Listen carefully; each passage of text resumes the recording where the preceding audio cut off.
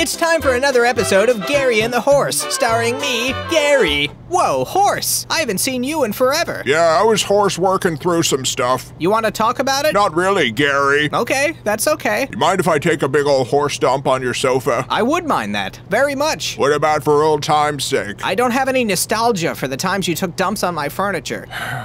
You ever just want to take dumps on some guy's couch to see if you feel anything, even though you know you won't? Uh, You know that moment's past, and you'll just be dumping for something to do. I haven't really felt like that, no. I've taken so many dumps on so many easy chairs and duvets, Chesterfields, lowboys, chifforobes. Those are, uh, all furnitures? Yeah, they're all fucking furnitures, Gary. Get some fucking furniture culture, damn. I'm sorry, Horse, I just don't know what you're getting at here. I went all over the world, Gary, taking dumps here and there, but mostly just listening, learning. That sounds nice. I think I'm in a philosophical crisis, Gary. I think the twilight of my nexus is fucking inverted or some shit.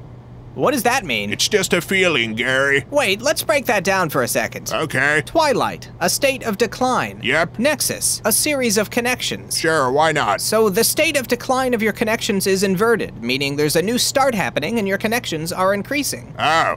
Oh, that sounds pretty good. That does sound good, Horse. Damn, I was standing here being all miserable, but all this time my Nexus was getting shit done. Every day has a new dawn, Horse. It's too bad there's a pandemic going on and I can't do anything with this new sense of hope and freedom. Can horses even get a coronavirus? I don't know, what am I, a horse corona doctor? Make sure to wear a mask when you go out then. I've been wearing a mask my whole life, Gary. We're all wearing masks. Think about it. The Joker. yeah, but you should also wear a real mask. Alright, whatever. You have any H95s? Horse 95s?